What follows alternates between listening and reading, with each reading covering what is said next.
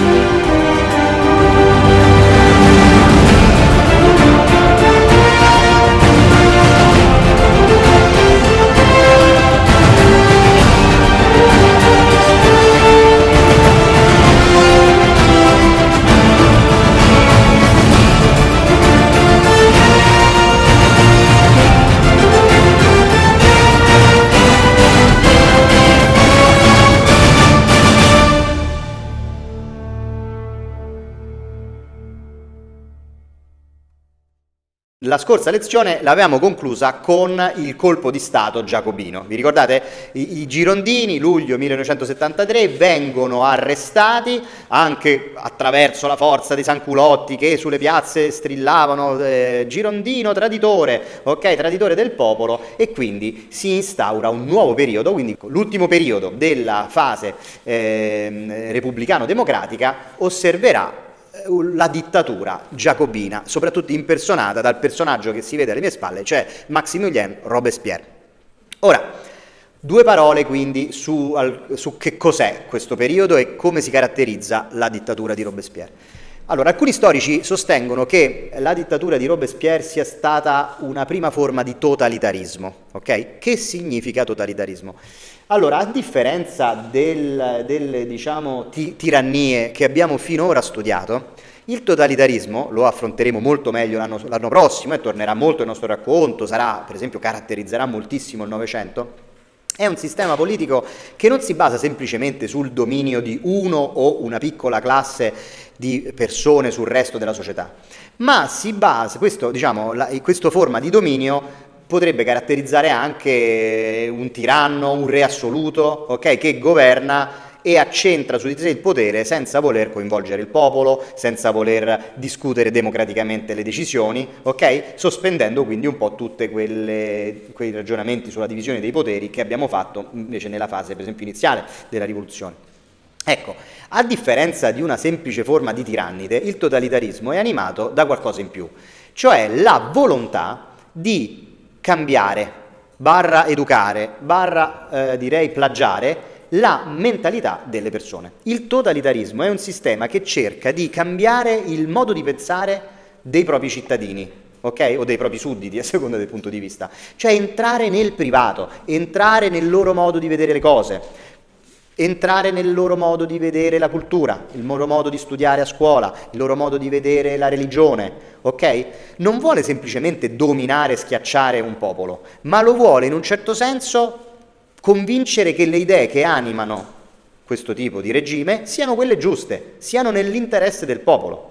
Facciamo un riferimento molto veloce, senza aprire parentesi lunghe. Durante il fascismo, il sabato fascista, che cos'era? Era un tentativo di prendere i giovani e portarli a fare delle manifestazioni sportive, culturali, dei cori, per indottrinarli, per farli sentire parte della causa del fascismo, parte del sogno italiano, mi, mi capite?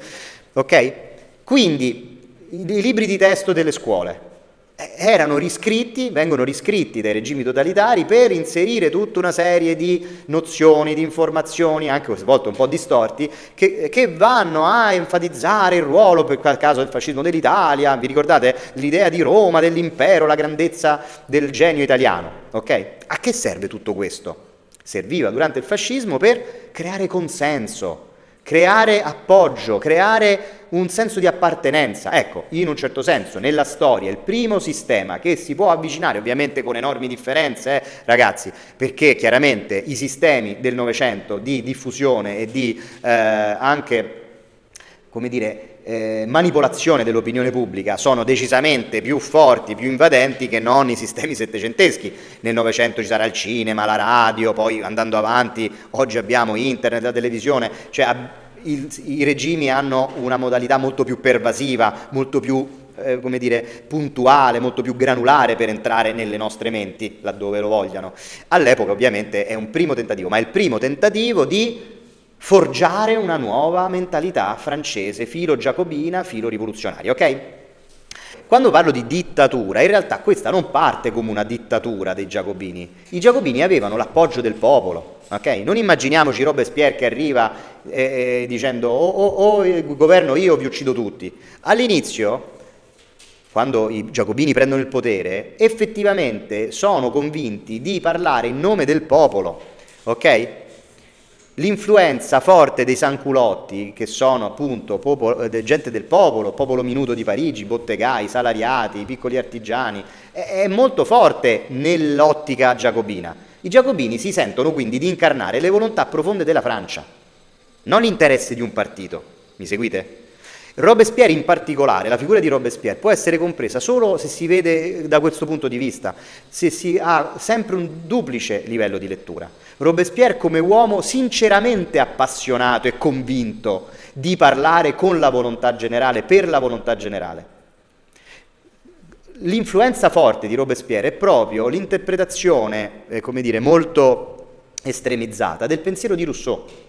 Vi ricordate che diceva Rousseau, no? Se emerge una chiara volontà generale, lo Stato si regge proprio sulla base del volere trasversale del popolo, che deve quindi sovrastare qualsiasi forma di opposizione. Detto in altri termini, se io esprimo la volontà generale e tu la pensi diversamente da me, la tua non è un'opinione accettabile, perché la tua è semplicemente un'opinione che mira a fare un interesse tuo o di fazione o di partito o addirittura ancora peggio personale, schiacciando quindi la volontà generale. Mi capisci? Quindi si passa da un confronto politico a un confronto con un possibile traditore della causa. È molto sottile questo, ma lo dovete capire, perché sarà poi una chiave di lettura importante per alcune forme di totalitarismo anche futuro. Cioè, in un certo senso, Robespierre, un po' invasato, se vogliamo, da questa convinzione, credeva di essere in buona fede quando faceva alcune scelte molto forti, molto anche, diciamo, antidemocratiche. Ok? Il riferimento così diciamo, totalizzante alla filosofia russoiana spingeva a sopprimere alcune diciamo, libertà che oggi noi poniamo alla base della democrazia. Perché, lo ripetiamo, se, se si immagina di essere portatori di una um, voce popolare, di un interesse generale, ogni opinione politica contraria non può che, deduciamo la differenza, essere interesse particolare. Ok? Quindi inaccettabile quindi da sopprimere, quindi da schiacciare, quindi no, da, non, da, non, prendere in considerazione. Non c'è quindi un, in quest'ottica una possibile confronto democratico tra opinioni entrambe lecite, ma c'è una convinzione che vox populi, vox dei, ok? Cioè la voce del popolo è la voce di Dio e qualsiasi altra visione è una visione di parte, una visione interessata, una visione da traditore della causa, ok?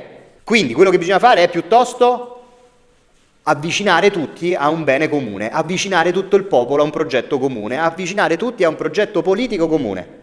Tutti insieme in un progetto politico e chi sta fuori è un traditore, chi sta fuori è un nemico della patria. E quindi ragazzi, chi sta fuori va punito, chi sta fuori va incarcerato, chi fa, va, va, sta fuori va ucciso, va ghigliottinato, mi capite? Que- altrimenti non si capisce, altrimenti sarebbe, sembrerebbe che c'è un pazzo al potere che inizia a tagliare le teste random. Non è così, forse era anche pazzo a un certo punto perché non si rendeva conto che questa ottica stava completamente sfuggendo di mano. Quando applichi la violenza, le condanne arbitrarie, la ghigliottina, capisci che voglio dire, qualche domanda te la dovresti fare se veramente è la volontà del popolo che stai realizzando, no? Però, ecco, questo voglio farvi capire.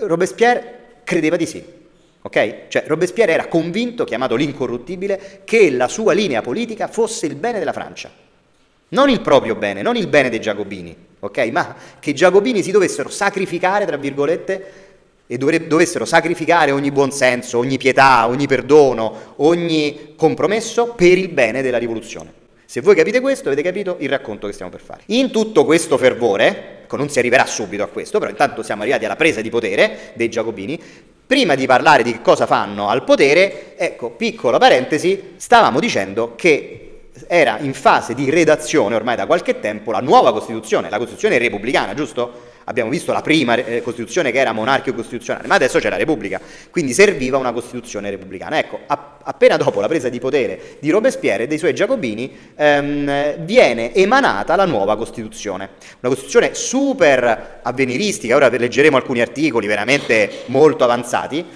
per l'epoca, ma forse anche però, però per oggi, che però segnatevi subito, non verrà applicata.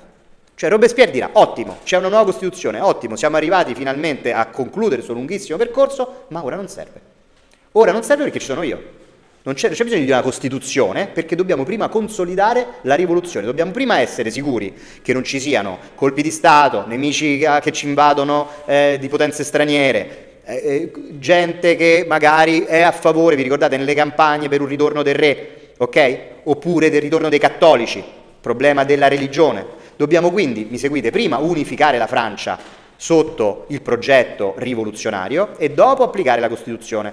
Quindi il progetto è consolidiamo la, la, la, rivoluzione e poi eventualmente dopo applicheremo la Costituzione. Però intanto vi dico che così, anche per, per, curiosità, ma anche perché è storicamente molto importante, anche se non sarà mai applicata, conteneva dei valori e dei principi che sono interessantissimi vi dico quali sono. Allora, primo, suffragio universale senza più distinzione tra cittadini attivi e passivi, però con l'esclusione di chi? Delle donne. Vi ricordate che Robespierre su questo c'era Olive de Gouges che provava a spingere per una cosa ancora più avveniristica, ma non, non sono ancora i tempi maturi per pensare a qualcosa del genere. Secondo, il diritto al lavoro e all'assistenza da parte dello Stato. Diritto al lavoro, ragazzi. Ognuno ha diritto di avere un lavoro e se non ce l'ha lo Stato lo deve aiutare. È una roba che quasi sfiora il socialismo, ok? Terzo punto, diritto, dovere all'insurrezione nel caso di violazione di diritti del popolo. Cioè il popolo non solo ha diritto, come stati, nella Costituzione anche degli Stati Uniti, di poter prendere le armi se c'è un governo dispotico, ha il dovere di farlo. È un dovere, come andare a votare. Il dovere è quello di prendere le armi e combattere contro un governo dispotico. Diritto-dovere. Ragazzi, tra diritto e dovere c'è una bella differenza, eh? Significa che hai diritto di farlo, ma lo devi fare. Se non lo fai sei un traditore della patria interessante, c'è un, un, dovere dell'insurrezione, cioè, dimmi una Costituzione che dice tu devi, de, de, cioè, hai diritto a prendere armi se io sono diciamo, troppo eh, autoritario. Quarto punto, subordinazione del potere esecutivo al legislativo, importantissimo, è una, quindi una forma di parlamentarismo, il Parlamento è più importante del governo. Eh, ragazzi, anche qui si potrebbe ragionare molto. Oggi noi in Italia siamo in una democrazia parlamentare, ma ragazzi vi assicuro che gran parte delle leggi sono decreti leggi fatti dal governo e solo ratificati passivamente dal Parlamento. Quindi gran parte della vita politica del nostro Stato italiano 2023, ma anche negli anni precedenti, non solo di quest'ultimo governo, bypassa completamente il dibattito parlamentare agendo con un strumento come il decreto legge che dovrebbe essere straordinario, ma viene invece applicato per qualsiasi legge. E quindi questo, questo diciamo, è anche un modo per farvi riflettere sul fatto che nel 1793 siamo nel giugno, eh, 24 giugno 1793, viene approvata questa Costituzione, ma poi sospesa immediatamente da Robespierre. Ok? Poi, diritto all'istruzione, diritto all'istruzione ragazzi, cioè chiunque debba avere, qualsiasi cittadino francese deve avere diritto a essere istruito dallo Stato, eh, notevole. E ultimo, dovere dello Stato di promuovere la felicità. Anche questa cosa è bellissima. Cioè lo Stato ti deve aiutare a diventare felice. a essere felice. Cioè, quindi una, una, visione completamente spostata sui cittadini. Non è lo Stato che è finalizzato a se stesso, ma è finalizzato a te. E tu anzi sei obbligato a buttarlo giù se lui non fa la tua felicità. Cioè, capite bene che una cosa del genere Robespierre dice aspetta, bellissimo, ma adesso non è, non è il momento. Al contrario di tutto ciò, invece, Robespierre sostanzialmente e i giacobini andranno verso una sospensione delle, di tutti diciamo, eh, dei più elementari diritti partecipativi e questa, diciamo, fino alla caduta di Robespierre, che avverrà in breve tempo in realtà, assisteremo a un periodo invece sostanzialmente che è contrario un po' a questi principi, cioè la, una forma sostanzialmente dittatoriale, ok? Ora vedremo come, gestito da un comitato di salute pubblica, quindi molto ristretto, di pochi uomini al potere, ecco, tutti questi bei principi non saranno applicati, ok? Pensate che questa Costituzione eh, fu a, addirittura messa a referendum e fu approvata con 1.800.000 sì e 17.000 no, ok? Va bene? Quindi fu eh, anche messa a votazione, il popolo francese la approvò. Vi leggo solo velocemente alcuni dei, diciamo, degli articoli, molto velocemente. Lo, uno, lo scopo della società è il bene comune. Questa è la prima frase. Lo scopo della società è il bene comune, ok? Il governo è istituito per garantire all'uomo il godimento dei suoi diritti naturali e imprescrittibili, ok? Questi diritti sono l'eguaglianza, la libertà, la sicurezza, la proprietà. Tutti gli uomini sono uguali per natura e di fronte alla legge, e poi insomma ce ne sono tanti, ma diciamo, tutti i cittadini sono ugualmente ammissibili agli impieghi pubblici, quindi non ci sono cittadini di serie A e B, non, non più gli eleggibili, non eleggibili, attivi, passivi, tutto passato. Eh, I soccorsi pubblici sono un debito sacro, l'istruzione è un bisogno di tutti, la sovranità risiede nel popolo, essa è unica, indivisibile, imprescrittibile inalienabile. Insomma, sono molti questi principi che Cosa sono questi? Sono dei principi che sono stati inseriti nella dichiarazione dei diritti del 1793 come preambolo alla Costituzione, quindi c'è una nuova dichiarazione dei diritti, simile ma più radicale di quella ovviamente dell'89 e una nuova Costituzione. Cosa succede a questo punto in Francia? C'è questo colpo di Stato, abbiamo detto, no? di, di, di Robespierre e dei suoi giacobini. E chiaramente la Francia non sta a guardare, non sono tutti d'accordo con quello che sta succedendo. Allora, intanto nel giugno sempre, quindi stiamo parlando sempre di questo periodo del 1793, in alcune parti, quelle più refrattarie, il sud e l'ovest della Francia, ci sono delle rivolte federaliste, ok? Dove era più forte la presenza girondina. I girondini erano espressione delle città portuali delle città atlantiche, eh, che speravano molto nel governo forte dei Girondini, che faceva gli interessi di quella parte della Francia. Adesso che sono stati incarcerati, distrutti e c'è una dittatura dei Giacobini, ovviamente quella parte della Francia insorge. E in particolare alcune città, soprattutto Lione e Tolone, addirittura cosa fanno? Consegnano le proprie navi agli inglesi, cioè aprono i porti, dei porti, e iniziano a pensare io mi schiero con gli inglesi in modo tale da contrastare questa dittatura dei giacobini, perché appunto, ripeto, sono zone che invece vedevano assolutamente come un sopruso quel colpo di Stato fatto da Robespierre a Parigi. Benissimo. Ora, il Comitato di Salute Pubblica, che abbiamo detto è l'organismo presieduto da Robespierre, che si è insediato immediatamente a seguito del colpo di Stato, e che di fatto è il nuovo governo della, della Francia rivoluzionaria, eh, non sa bene come gestire la situazione, perché eh, di fatto un, queste città sono eh, adesso aiutate dagli inglesi, sono, eh, hanno le navi degli inglesi nei porti, sappiamo la flotta inglese quanto è potente, quanto è dire, un, un, paese che già aveva inferto diverse sconfitte alla Francia nel corso del Settecento, e quindi eh, provano un assedio, un assedio, per esempio il famoso assedio di Tolone. Arrivò a un certo punto un giovane generale, che veniva dalla Corsica, era poco più di un ragazzo, e dirà a uno dei membri del Comitato di Salute Pubblica, un tal Barrà, Barras scritto, Barras, io sono l'unico forse in grado di riuscire a sconfiggere gli inglesi a Tolone. Ho un piano per conquistare e riprendere il porto dopo questi inutili mesi di assedio. Questo giovane ufficiale corso si chiamava Napoleone Bonaparte e vista anche un po' la disperazione dell'epoca e la incapacità di fare diciamo, un'azione di efficace per riprendere il porto di Tolone, fu inviato per dirigere le operazioni e, guardate un po', in poco tempo riuscì a fare una diciamo, celeberrima impresa e a riconquistare il porto di Tolone. Come farà Napoleone a fare questo? Era poco più di un ragazzo. Napoleone era un artigliere, era un grande, grandissimo esperto di cannoni e lui diceva, sempre con poca modestia, di essere già a quell'età il più grande esperto di cannoni del mondo. E infatti in quell'occasione avrà un'intuizione molto grande, vi dico così per fare un po' anche riprendendo un film che spero andremo a vedere, Napoleon, inizierà a pensare che era impossibile distruggere le navi degli inglesi dal porto, perché gli inglesi avevano preso anche possesso, e anche i francesi diciamo che si erano ribellati e si erano schierati con gli inglesi, di una specie di fortificazione più in alto. E allora l'idea di Napoleone è questa, prendiamo i cannoni che sono tutti distrutti dopo questo assedio, li fondiamo, creiamo dei cannoni piccoli, degli specie di mortai, avete visto come sono i mortai che fanno queste specie di, di, di colpi a parabola, no? E invece di colpire il porto, colpiamo la roccaforte ok? Con questi, diciamo, mortai. Visto che nella roccaforte ci sono dei cannoni molto grossi e molto potenti e dall'alto, con i cannoni degli inglesi, se conquistiamo la roccaforte, abbatteremo le navi degli stessi inglesi. Mi seguite? Quindi attaccano di sorpresa la roccaforte, mentre gli inglesi si aspettavano un attacco sul porto. Conquistano la roccaforte e con i cannoni degli inglesi che erano puntati contro di loro li girano contro le navi e fanno fuoco sulle navi degli inglesi. Okay?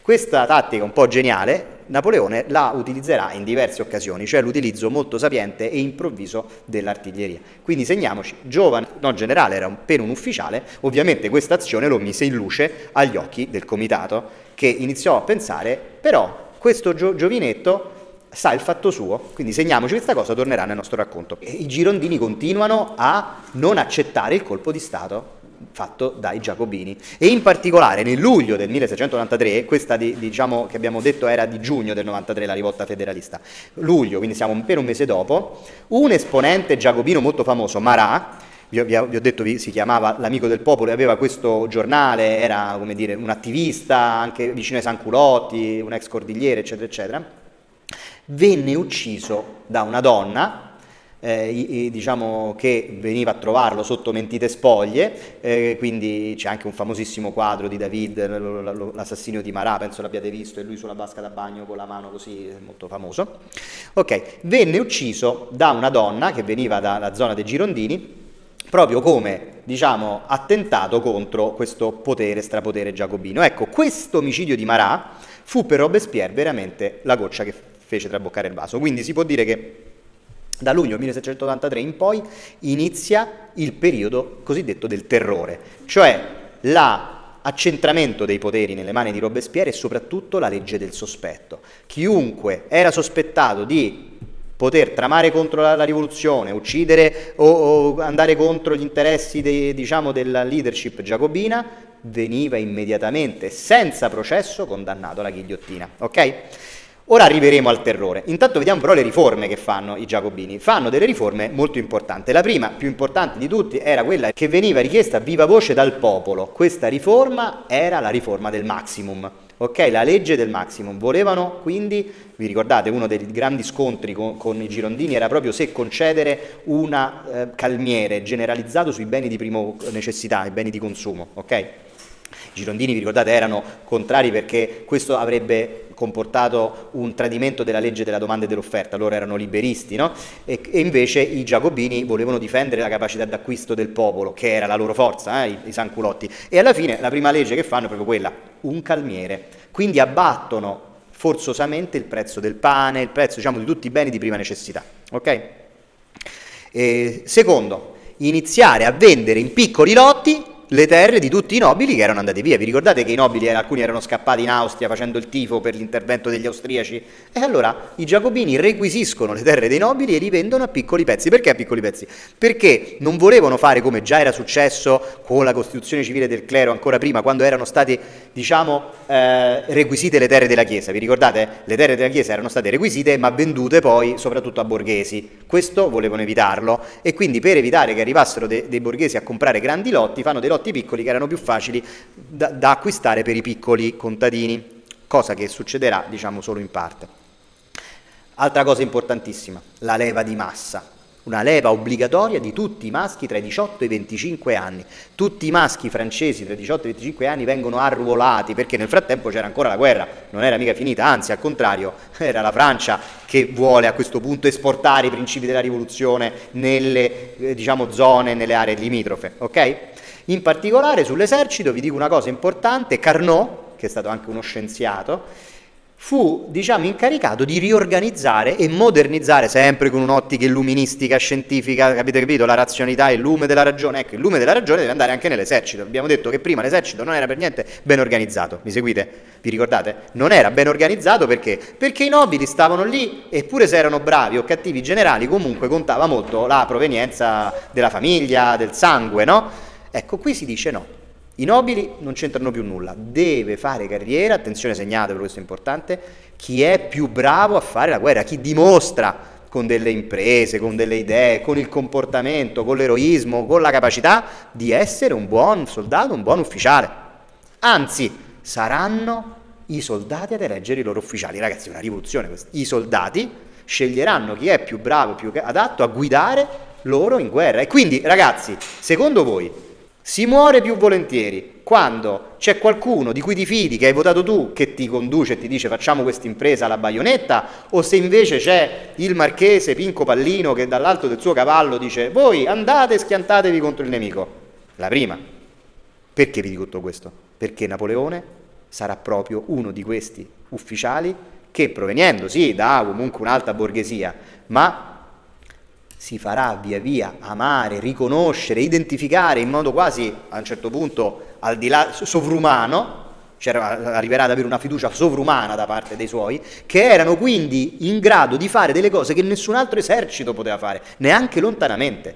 Avevano uno spirito di sacrificio, uno spirito di immedesimazione. E questa è l'idea di Carnot.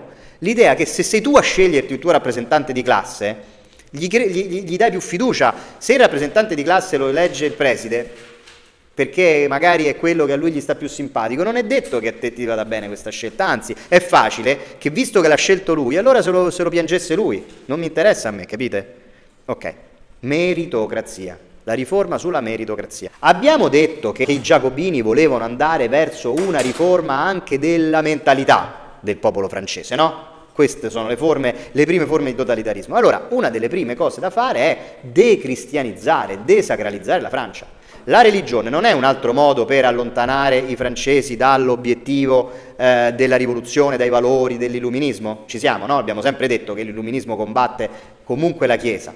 E la Chiesa aveva imposto ad esempio un calendario, no?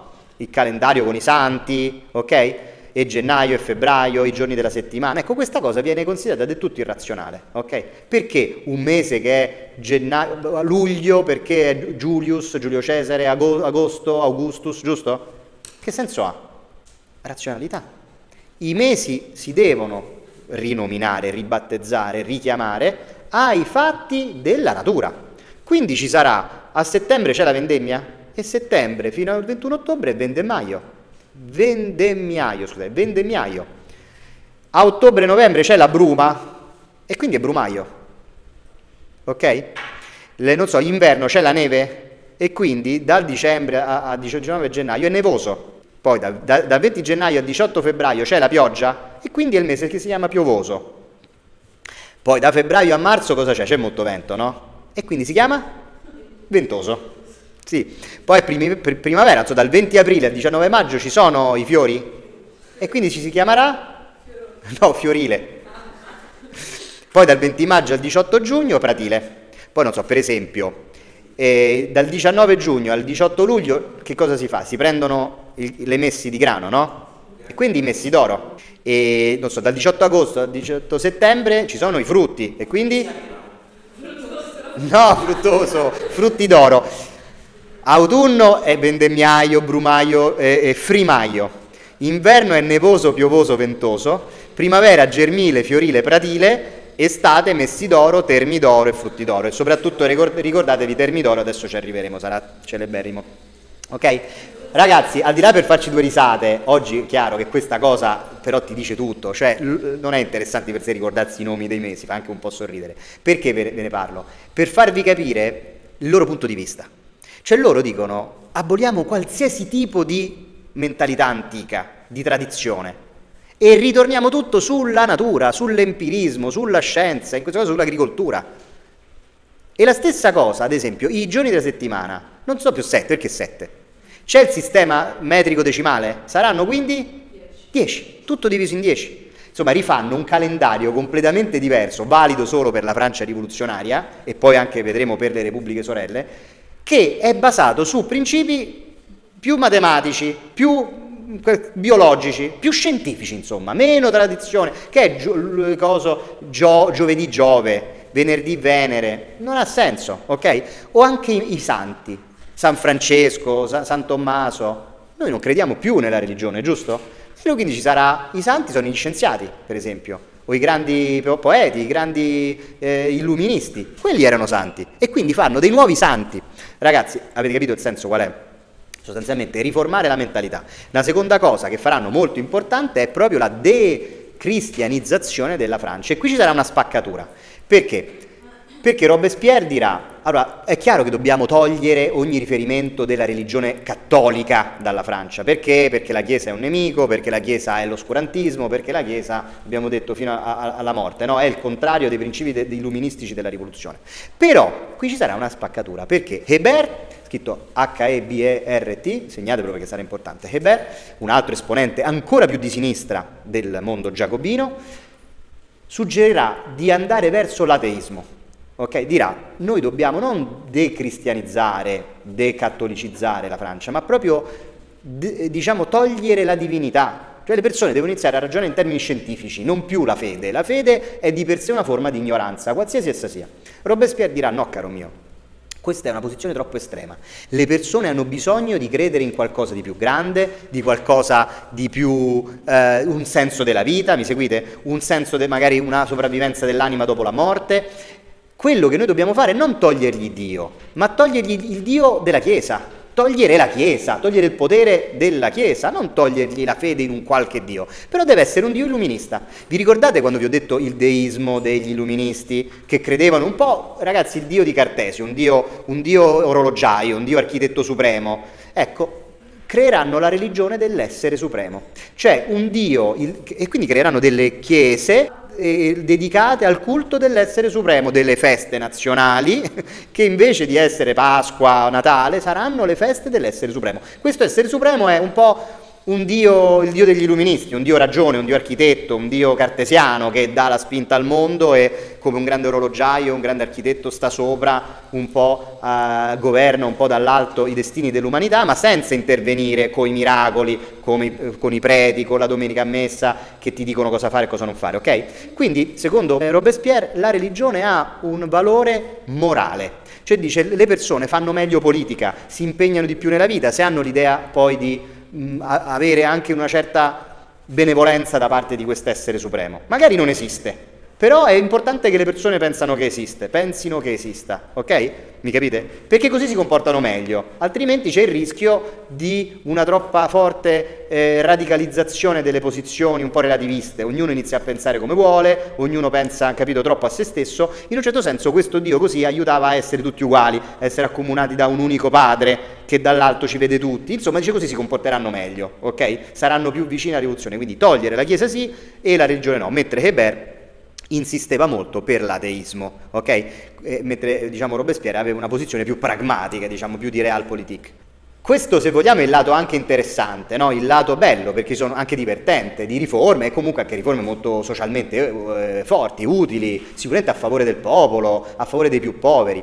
Però abbiamo detto che dopo l'omicidio di Marat, si aprirà il periodo del terrore. Che cos'è il terrore? Il terrore è un modo abbastanza esplicito che già all'epoca fu, come dire, utilizzato per chiamare questo periodo che eh, è contraddistinto da un'azione di repressione spietata da parte di Robespierre in particolare de- e dei suoi più fedeli eh, collaboratori del Comitato di Salute Pubblica di ogni forma di dissenso, ok? Come Robespierre definì il terrore? L'adozione verso gli avversari politici, interni delle stesse procedure che di solito vengono applicate nei confronti dei nemici in situazioni di guerra. Un nemico in situazione di guerra io lo affronto con l'esercito, con, la, con ogni modo e ogni arma. Quindi io affronterò un avversario politico con la stessa ferocia con cui affronterei un avversario in guerra, una potenza straniera. Capite che cosa significava in quel momento essere dissidente? Rischiare la ghigliottina. Allora, Un'altra definizione è il terrore è un'emanazione della virtù. Senza la virtù il terrore è funesto, senza il terrore la virtù è impotente. Cioè la virtù senza l'arma della ghigliottina è impotente, non riesco a convincere le persone a comportarsi bene senza la minaccia della ghigliottina. Viceversa, la ghigliottina senza la virtù è un terrore incontrollato. Ma in realtà purtroppo diventerà un terrore incontrollato perché pensate che né in questo anno verranno uccise, ragazzi sembra incredibile, 40.000 persone con la ghigliottina. Voi capite che significa ghigliottinare 40.000 persone? I girondini saranno decimati, ad esempio Brissot sarà ghigliottinato a ottobre del 1793, i lealisti, tutti coloro quindi che erano leali al re, che volevano un ritorno della monarchia, saranno colpiti, tutti i sospettati, all'interno anche, diciamo, alle volte della stessa compagine dei giacobini, gli stessi vedremo che poi il terrore, la fase finale sarà detta grande terrore, il grande terrore sarà la fase di escalation per cui Robespierre inizierà a non fidarsi più di nessuno. Maria Antonietta sarà eh, ghigliottinata nell'ottobre del 93, ok? L'ultimo periodo, chiamato Grande Terrore, vedrà due importanti condanne a morte, da, sia dalla, dal punto di vista della, diciamo, della destra, dei moderati, sia dal punto di vista degli estremisti. Cioè Robespierre aveva dei moderati più a destra, all'interno sempre dei, dei giacobini, il cui diciamo, esponente principale era Danton. Okay? Danton eh, è un esponente, stiamo parlando dell'aprile del 94, che stava cercando a tutti i costi di convincere Robespierre a uscire dalla guerra, a far finire la guerra e quindi sarà accusato di tradire gli interessi della Francia, di cospirare con le nazioni eh, nemiche o addirittura fu processato anche per, perché sospettato di, di, aver, di, di, volersi approfittare, di volersi approfittare degli esiti della guerra, di arricchirsi con dei commerci con le potenze straniere, quindi Danton fu ghigliottinato, mentre la fazione degli arrabbiati, cosiddetti si chiamavano così arrabbiati, erano ancora più estremi di Robespierre, l'esponente principale era Hébert, che appunto stava invece insistendo per una riforma religiosa atea, sarà ucciso nel marzo del 94, ok? Eber era anche, ragazzi, il capo dei Sanculotti. Quindi capite che oltre alla differente visione della riforma religiosa c'era da parte di Robespierre il diciamo, sospetto che Hébert potesse diventare una minaccia perché troppo forte. Chi aveva i Sanculotti in mano aveva il popolo di Parigi armato che poteva per esempio organizzare un colpo di Stato. Insomma, capite bene che siamo arrivati a un punto in cui Robespierre non si fida neanche dei suoi amici e collaboratori e quindi anche lo stesso Comitato di Salute Pubblica, anche lo stesso partito dei Giacobini viene colpito al suo interno da una forma di repressione, di condanna a morte, di sospetto. Non tutti saranno uccisi, eh? alcuni messi in prigione, insomma ci sono varie forme di repressione, però abbiamo detto 40.000. Ovviamente tra, tra gli uccisi tra questi 40.000 dovete computare anche la repressione della rivolta in Vandea, ok? Quindi molti anche contadini o popolani che abbiamo già studiato altra volta, abbiamo detto non è che sarà fatto subito, tutti quei morti saranno fatti nel corso del tempo, ecco, nei 40.000 ci sono anche molti considerati traditori della patria. Diciamo, pensate che nel 1794 sarà addirittura ghigliottinato Lavoisier, grande scienziato, grande chimico, ok? Questo per dire quanto la legge del sospetto non guardasse in faccia nessuno, anche personaggi obiettivamente lontani magari dalla politica o dalle congiure, ma solo perché sospettati di essere amici o di poter essere in combutta con uno o con l'altro, ok? Quindi ragazzi, il periodo del terrore sembra un vortice senza fine. Eh, Robespierre con l'uso della ghigliottina, con l'uso del carcere, con l'uso di eh, repressione politica, sostanzialmente elimina eh, sia tutti coloro che sono anche soltanto sospettati di avere idee contrarie o di poter remare contro i suoi disegni e le sue riforme, ma anche chi semplicemente è sospettato di poter ordire un complotto, sospettato appunto di voler far passare una mozione diversa. Insomma, Robespierre eh, inizia ad avere veramente un senso dell'accerchiamento. Chiunque eh, tra i suoi collaboratori anche, o anche all'interno del Comitato di Salute Pubblica poteva essere eh, oggetto di eh, repressione, oggetto di accusa.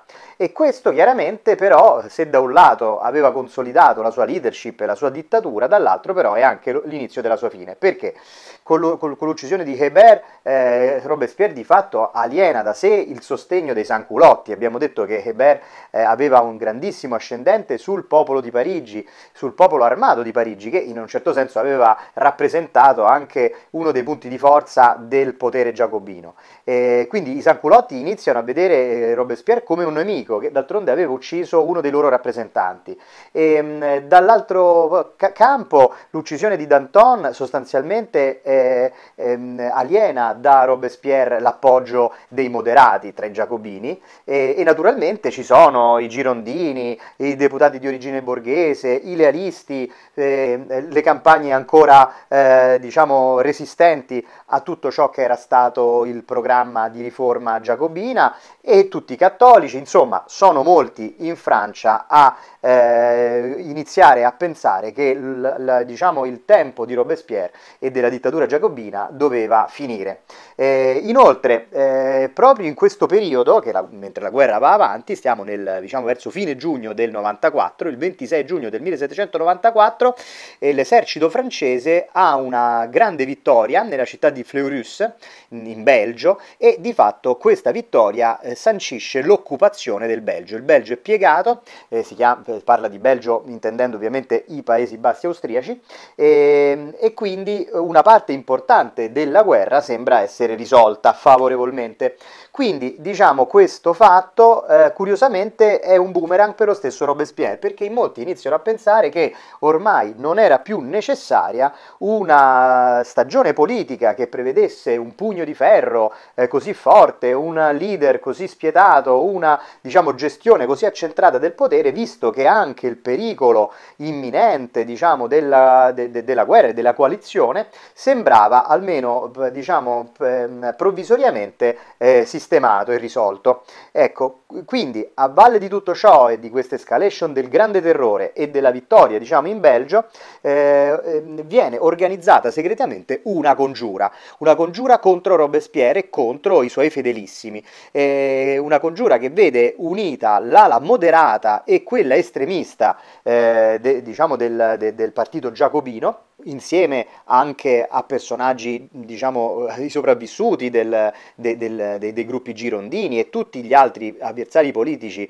che comunque ancora esistevano contro Robespierre. Ecco, quindi si arriva al 9 Termidoro, che sostanzialmente è il 27 luglio del 1794, e con un colpo di Stato. Di fatto Robespierre, Saint-Just e altri fedelissimi vengono accusati dalla Convenzione vengono messi sotto stato d'accusa, vengono arrestati e immediatamente il giorno dopo giustiziati. Quindi un colpo di Stato che sostanzialmente colpisce Robespierre e i suoi fedelissimi eh, e che di fatto non passa neanche per le vie legali e eh, processuali, ma arriva semplicemente ad, a, diciamo, ad applicare allo stesso Robespierre eh, i sistemi fortemente repressivi, antidemocratici, violenti, eh, dittatoriali che lui stesso aveva utilizzato. I sanculotti non reagiscono a questo colpo di Stato, i sanculotti si erano sentiti traditi e decidono che eh, Robespierre non è più un interlocutore affidabile per loro e quindi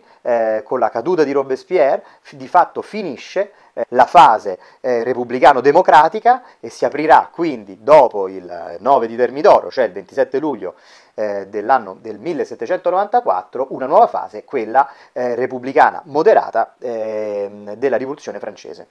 Quindi siamo nel fine luglio del 1794, si apre con la caduta di Robespierre una nuova fase, la fase repubblicano moderata o repubblicano conservatrice. Questa fase è la fase più lunga della rivoluzione francese. Abbiamo detto che la rivoluzione francese dura dieci anni, dal 1789 al 1799, e quindi la terza fase, che parte da diciamo, circa metà del 94, durerà diciamo, complessivamente oltre cinque anni, dal 94 fino al 99. E, però eh, racconteremo soltanto alcuni aspetti di questa ultima fase perché durante questa fase assisteremo all'emergere di un nuovo personaggio, un protagonista proprio della storia eh, del, eh, mo, contemporanea e, e, quindi protagonista dei nostri prossimi racconti, che però poi appunto verrà trattato a parte, cioè Napoleone Bonaparte. Ma noi siamo, ritorniamo un attimo con la mente a questi giorni, a quello che succede con la caduta di Robespierre. Quindi dall'agosto del 94 inizia una nuova fase, una fase in cui tutte le fazioni che erano state combattute e schiacciate da Robespierre, prima tra tutti i girondini e poi anche i realisti o le, i cattolici, cioè tutti i nemici della rivoluzione accentrata di Robespierre, del totalitarismo di Robespierre e dei giacobini, chiaramente con la caduta di Robespierre eh, eh applicano a quelle che sono le, le, ultime, diciamo, roccaforti del potere giacobino una repressione pari e contraria, un terrore pari e contrario a quello subito da Robespierre negli, nell'ultimo anno, no? durante il, il 94. Il periodo che diciamo, eh, successivo a Robespierre, questo periodo eh, diciamo, eh, repubblicano moderato, repubblicano conservatore, sarà caratterizzato anche questo da un terrore che si chiamerà terrore bianco, ok? Terrore bianco perché bianco è il colore del cristianesimo normalmente, della religione cattolica, proprio perché eh, si vuole distinguere dal terrore giacobino, in un certo senso eh, di, eh, per, per, via della matrice diversa. Terrore bianco perché è ispirato proprio da quei preti refrattari e da, diciamo, dal clero che era stato così schiacciato, così osteggiato. Vi ricordate che addirittura era stato di fatto da Robespierre messo quasi fuori legge nella riforma della, della, diciamo, de, della, della Chiesa, no? vi ricordate la, la, la, la, religione dell'ente supremo? Ecco, quindi terrore bianco realizzato da, da, tutti i gruppi che erano stati prima invece oggetto del tor- terrore di Robespierre. Quindi c'è un ribaltamento dei ruoli, ma non finisce la violenza. E quindi viene smantellato il potere dei giacobini, chiusi i club eh, in tutta la Francia, I, quindi i giacobini diventano fuori legge, vengono chiusi i club politici, eh, c'è una reazione non soltanto popolare e dei girondini, ma anche della cosiddetta jeunesse dorée, cioè la gioventù dorata, eh, nobili, alti borghesi, tutti coloro che volevano un ritorno a una situazione più tranquilla, volevano finire la fase dell'estremismo rivoluzionario, delle riforme così popolari, della legge del maximum, del, no, di, di, tutte le eh, dire, riforme giacobine così sbilanciate dal punto di vista sociale e popolare, e aprire quindi una fase sempre repubblicana, ma molto più moderata. Ok, la prima cosa che viene in mente è ci vuole, indovinate un po', una nuova Costituzione, esatto, perché la, la, Costituzione, che peraltro Robespierre non aveva mai fatto entrare in vigore, come vi, avevo già detto, è una Costituzione estremamente, quindi la seconda Costituzione, era una Costituzione comunque molto eh, radicale, no? Che prevedeva il suffragio universale, prevedeva la, diciamo, la centralità del, par- del, Parlamento, insomma molte cose, una serie di acquisizioni, il diritto all'insurrezione, il dovere all'insurrezione, tutta una serie di concetti che nello stato attuale delle cose si vuole invece, eh, come dire, placare, non applicare, quindi se Robespierre non l'ha applicata perché non la riteneva ancora opportuna visto il momento fluido e la necessità di consolidare il potere giacobino, la nuova, diciamo, eh, classe politica che succede a Robespierre non la vuole applicare perché invece la considera troppo, troppo di sinistra, troppo estrema. Eh, c'è un po' un'alleanza tra tutti quelli che sono, vi ricordate, i preti refrattari, tutti coloro che non avevano giurato alla nuova Costituzione, alla nuova Repubblica e, alla, e, e ai valori della rivoluzione, eh, i girondini naturalmente che prendono le loro rivincite, erano stati oppressi ma non erano completamente sterminati e quindi sostanzialmente eh, c'è questa fase di stabilizzazione interna che porta diciamo, all'elaborazione di una nuova Costituzione e anche però alla prosecuzione della guerra. Quindi sono queste due cose, creare una nuova Costituzione e portare avanti la guerra. Partiamo dalla guerra perché diciamo c'è poco da dire, in quanto, eh, in quanto che eh, due tra le varie potenze che si erano schierate con questa prima diciamo, alleanza contro la Francia, cioè Prussia e Olanda, escono dalla guerra. Eh, ci sono dei trattati di pace favorevoli alla Francia perché comunque nonostante tutti gli scossoni diciamo la guerra continua all'estero a essere favorevole mentre rimangono due grandi nemici che saranno poi i nemici non solo della Francia rivoluzionaria, ma anche appunto poi di quello che succederà con, con, con le imprese napoleoniche, cioè Austria e Inghilterra. Ecco, Austria e Inghilterra rimangono in armi, mentre Prussia e Olanda escono con dei trattati di pace in questi anni. Per quanto riguarda invece la terza Costituzione, allora, nel 1795 la, una diciamo, Costituzione repubblicana, una Costituzione però che prevede un suffragio ristretto. Quindi si ritorna, ragazzi, a una Costituzione molto simile a quella iniziale, quindi monarchico-costituzionale, con la differenza però che il re naturalmente non c'è più, quindi è una Costituzione repubblicana ma moderata, con un suffragio ristretto e con eh, alcune caratteristiche cioè eh, soprattutto eh, ispirate alla divisione dei poteri, quindi se il filosofo di riferimento della fase ro- di Robespierre, della fase giacobina, era sicuramente Rousseau con la sua teoria della volontà generale, probabilmente il filosofo di riferimento di quest'ultima fase è Montesquieu, cioè sì la Repubblica, sì la divisione dei poteri, con però un equilibrio, un bilanciamento, una politica moderata, ok? Ora, il potere esecutivo, questa è forse la cosa più importante, è affidato al direttorio. Il direttorio è composto da cinque persone che in qualche modo si alternavano al potere, e, ehm, mentre il potere legislativo è affidato a un Parlamento bicamerale con due Camere, eletto, entrambe elette a suffragio censitario, quindi a, si abbandona il suffragio universale della eh, Costituzione del 93, e sono il Consiglio dei 500 e il Consiglio degli Anziani. Quindi ripetiamo, il potere di fatto è in mano al direttorio, questa è la fase diciamo, in cui il protagonista del racconto sarà il direttorio di, di cinque persone, si chiamano così perché venivano chiamati direttori, sono come cinque ministri, eh, con molti poteri, e poi ci sono due consigli eletti a suffragio ristretto. Uno dei protagonisti di questo periodo è Paul Barras. Paul Barras, lo abbiamo già sentito nominare perché era stato eh, colui che aveva affidato al giovanissimo Napoleone l'impresa di Tolone, ok?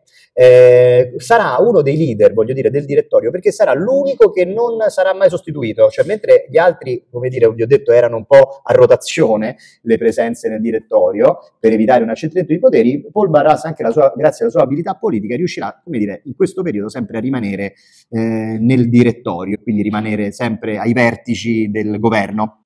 Comunque, ragazzi, la situazione è paralizzata perché il direttorio di fatto è debole, cioè la situazione eh, che ci, diciamo di questi anni, di questi cinque anni, è una situazione che se da un lato nella politica estera ha, questi successi e per fortuna alcune potenze abbandonano la guerra, all'interno eh, il, dire, la situazione è spaccata, cioè ci sono diversi tentativi di rivolta, di congiura, eh, tre in particolare, congiure poi di carattere diverso, ok, da destra, da sinistra. Eh, la prima, nel 1795, la prima di queste congiure, congiure contro il direttorio, eh, chiaro che in una situazione così incerta, dove ci si, si sono avvicendati tanti eventi, con l'ascesa e la caduta di Robespierre, tutto sommato nel giro di un anno, poco più di un anno, si, si è creato un voto di potere, cioè questo direttorio non da tutti viene vissuto come una istituzione stabile, affidabile, ok? Sia da destra che da sinistra si cerca di prendere il potere, di approfittarsi di questo vuoto eh, di leadership.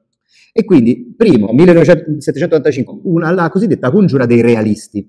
I realisti erano un gruppo di persone che di fatto eh, stava, eh, tentava, tenta un colpo di Stato per ripristinare i Borbone al potere. I realisti cercano di prendere il potere e sono una minaccia, sono una minaccia perché potrebbero essere anche appoggiati da potenze straniere. Cercano di ripristinare il potere togliendo il direttorio e rimettendo come potere esecutivo il re, ok? C'è un problema perché non si capisce come arginare questa protesta. E allora Barra, che si ricordava di un giovinetto un ragazzo che ormai aveva però già dimostrato di essere un abilissimo comandante, cioè questo Napoleone Bonaparte, che aveva già inviato a Tolone con successo, eh, allora eh, si ricorda di lui e propone a Napoleone di mettersi a capo della Guardia Nazionale per contrastare i realisti. Fermami questo colpo di Stato, fermami queste, eh, questa rivoluzione dei realisti, fermiamo la crescita, l'escalation evitando che altre potenze si approfittino della, e quindi tramino contro la Francia, visto che c'è già la guerra aperta, per ripristinare il re. Napoleone effettivamente con un cinismo notevole, con una certa ferocia, eh, riuscirà a stroncare con, con la forza dei cannoni questa ulteriore sommossa. E anche in questo caso aver affidato a Napoleone il governo dell'operazione si rivelerà una strategia azzeccata. Mi avete seguito? Quindi nuovo successo per Napoleone, certo, un successo ottenuto con il sangue e con una certa freddezza, sempre legata anche questa all'uso sapiente dell'artiglieria, dei cannoni fa fuoco contro questi diciamo, personaggi, stroncando completamente sul nascere questa rivolta.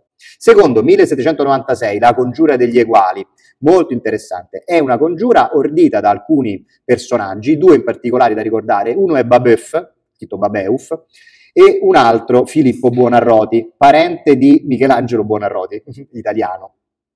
E beh, sono due pensatori politici eh, che di fatto sostengono una, eh, una rivolta di carattere, noi diremmo, socialista. Cioè vogliono creare una, prendere il potere per creare uno Stato eh, repubblicano ispirato a criteri di eguaglianza sociale. Per questo si chiama la congiura degli eguali, cioè vogliono abolire la proprietà privata dicono che sostanzialmente qualsiasi forma repubblicana dove però siano ancora contemplate queste grandi differenze sociali non può assolutamente mai essere eh, veramente equa, veramente giusta, ok? E neanche stabile. Cioè dicono tutta questa instabilità deriva dal fatto che comunque c'è il popolo affamato, che comunque ci sono coloro che hanno ancora troppo e coloro che hanno troppo poco. Abbattiamo queste differenze, siamo tutti uguali la Costituzione, la Dichiarazione dei diritti dell'uomo dice che gli uomini sono uguali e allora devono essere anche a livello sociale ed economico, basta proprietà privata. Ok? Naturalmente anche questa verrà eh, scoperta e verrà sbaragliata con la forza dell'esercito, anche questa volta interverrà l'esercito, e infine ci sarà nel 97, quindi una nel 95, quella dei realisti, una del 96, la congiura degli eguali, Babeffe sarà giustiziato, tra parentesi, nel 97, e una nel 97 fatta direttamente dal direttorio. Cioè il direttorio fa un colpo di Stato per sospendere la Costituzione e per prendere nelle proprie mani il pieno potere. Il direttorio dice tutte queste rivolte, queste rivoluzioni mi hanno dimostrato che eh, sono troppo debole. Questa repubblica, diciamo, parlamentare non funziona e eh, viene percepita come debole. Chiunque la vuole attaccare, la vogliono attaccare da destra quelli favorevoli al re, ma anche da sinistra quelli favorevoli a una specie di rivolta e rivoluzione sociale. E quindi il direttorio fa un colpo di Stato e sospende la Costituzione. Quindi vedete queste Costituzioni che vengono approvate, vengono subito nuovamente sospese, perché c'è di nuovo la necessità di prendere su di sé tutto il potere. Il potere attraverso cosa? L'esercito. Quindi segnatevi che questa fase vede la centralità dell'esercito non solo, ragazzi, contro le potenze straniere, perché ricordiamoci che l'Austria e l'Inghilterra sono ancora in armi, ma anche e soprattutto per tenere a bada le insurrezioni e le rivolte interne. Si sta al potere solo se l'esercito sta dalla tua parte. Un'ultima parola sulla politica estera, ok? Sulla politica estera abbiamo visto già alcuni successi della Francia, ma eh, co- come viene percepita la Francia e la rivoluzione francese fuori dai confini francesi? Allora, all'inizio, quando appunto è stata presa la Bastiglia, è stata emanata la dichiarazione dei diritti dell'uomo, questa diciamo, novità veniva vissuta con un certo favore. Okay? In molti in Europa iniziano a pensare che effettivamente questo sia un punto di non ritorno e iniziavano anche a pensare che alcuni dei valori e dei principi potessero essere applicati anche eh, diciamo negli stati limitrofi e iniziano quindi a sorgere alcuni club, anche club giacobini in giro per l'Europa. ok? Uno dei più famosi è proprio in Liguria, questo Filippo Buonarroti veniva proprio da un club giacobino in Liguria, che poi insomma poi si trasferirà in Francia per la congiura degli eguali. Ehm, però poi con il colpo di Stato di Robespierre e con il terrore la percezione in Europa cambia. Alcuni iniziano a pensare che la Francia e i francesi abbiano fatto il passo più lungo della gamba, cioè i valori erano giusti, le idee erano giuste, ma si stava esagerando, stava diventando una vera e propria carneficina, una dittatura, un totalitarismo. Cioè i valori positivi erano completamente eh, annebbiati, annacquati all'interno invece di un sistema che sembrava tradire questi valori no? e accentrava tutto nelle mani, ad esempio, di Robespierre. Quindi, ad esempio, un tal Edmund, Edmund Burke, eh, uno storico di quegli anni, eh, eh, scrive una, una paragone tra la rivoluzione francese e la rivoluzione inglese Dice, vedete, gli inglesi con la gloriosa rivoluzione hanno comunque ottenuto una monarchia parlamentare senza spargimenti di sangue. I francesi invece, per abbattere l'ancien regime, hanno innescato un'escalation di violenza che ha portato poi verso la dittatura. Quindi i valori erano giusti, la pretesa era giusta, forse all'inizio c'era bisogno di questa violenza, ma poi la situazione è scappata di mano. Ok? Questa, diciamo, è l'opinione di alcuni anche in Europa che iniziano quasi a temere eh, un'escalation che potrebbe riguardare tutti. Fin dal 1972 comunque la Convenzione aveva diciamo, decretato che la Francia avrebbe garantito fraternità e soccorso a tutti i popoli che vorranno recuperare le, la loro libertà. Ok? E per questo diciamo, quindi l'idea di esportare questi valori della rivoluzione, esportare la libertà, l'uguaglianza, la fraternità, eccetera, eccetera esportarla anche con la forza delle armi, però, ecco, quindi qui si apre una, una riflessione, ma dei valori positivi, dei valori rivoluzionari di questo tipo, come fanno a essere esportati? Con, con la propaganda o anche con l'esercito? Però, diciamo, quindi sorgono alcuni club giacobini, in alcune parti dell'Europa si inizia a tifare per l'intervento dei francesi e questo intervento avviene. Ok, la Francia effettivamente in queste campagne militari riesce, abbiamo visto, a invadere, a conquistare alcuni territori. E allora lì la percezione cambia. Quando i francesi arrivano, molti più simpatizzanti eh, si, si, si, manifestano proprio a favore dei francesi. Cioè quando i francesi invadono un territorio, molti iniziano a tifare per, la, per le novità, iniziano ad apprezzare, diciamo così, i valori valori della rivoluzione. E quindi nel 1793-95 la, la, Francia aveva inglobato il Belgio, ok? E il più importante, proprio nel 1795, la nascita in Olanda, anch'essa occupata dai francesi, della cosiddetta Repubblica Batava. Batava era un termine, diciamo, antico con cui si chiamavano le popolazioni che vivevano in, que- in quei paesi, quindi diciamo la, la, l'Olanda diventa l'una, la prima delle cosiddette repubbliche sorelle. Cioè si crea una repubblica in Olanda, una repubblica ispirata ai valori della rivoluzione e diciamo l'idea dei francesi è tutti gli, i paesi conquistati come il Belgio e l'Olanda creare delle nuove repubbliche sorelle, che però sono anche dei satelliti della Francia, ok? Repubbliche sorelle che però naturalmente sono legate e seguono politicamente l'impostazione eh, rivoluzionaria francese. ok?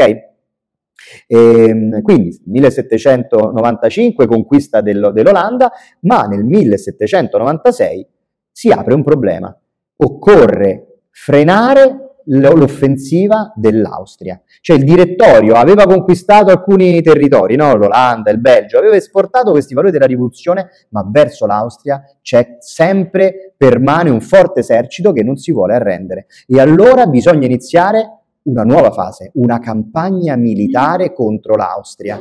E questa campagna militare dovrà essere articolata in due. Il grosso dell'esercito dovrà puntare dritto contro Vienna contro gli Asburgo, mentre un esercito parallelo dovrà cercare di mh, mm, eh, diciamo, dar fastidio e conquistare i territori Asburgo in Italia. Vi ricordate che c'era ad esempio il Ducato di Milano e tutto il nord Italia che era sotto l'influenza degli Asburgo, de- quindi degli austriaci.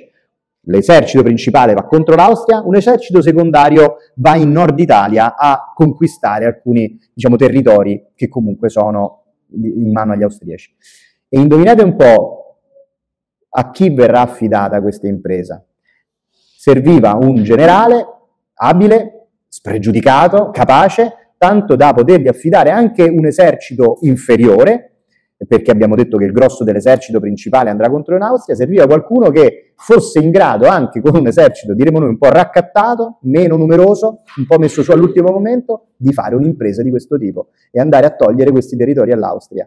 Chi sarà questo generale, questo giovane generale, appena diventato generale perché aveva appena aiutato il direttorio contro i realisti, Napoleone Bonaparte, ma qui si finisce però, finisce la storia della rivoluzione francese e inizia un'altra storia, perché inizierà l'ascesa di Napoleone che con la campagna contro, diciamo, la campagna d'Italia inizierà la sua carriera, la sua ascesa, il, il suo predominio che lo porterà presto a cambiare la storia della rivoluzione francese, ma anche direi la storia di tutta l'Europa. Ecco, però questa è un'altra storia, buon Natale a tutti e ci vediamo dopo le vacanze con Napoleone.